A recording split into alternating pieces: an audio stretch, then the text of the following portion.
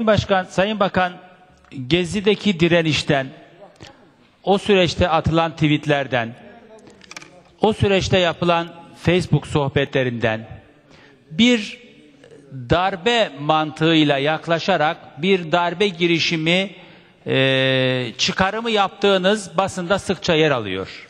Bu doğru mu Allah aşkına? Çok merak ediyorum. Gerçekten buradan bir darbe girişimi ya da Ergenekonvari, balyozvari bir tezgah çıkacak mı? Böyle bir düşünceniz var mı? Teşekkür ederim.